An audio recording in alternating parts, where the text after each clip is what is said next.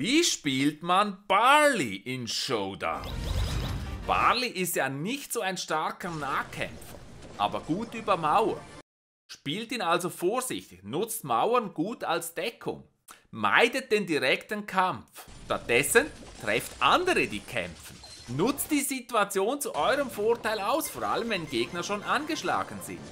Wartet also auf diese Chancen. Das mag überraschend sein, aber ich verwende die erste Star Power.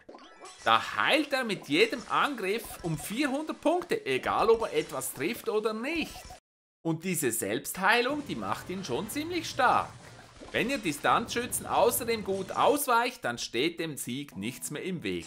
Viel Spaß mit Barley!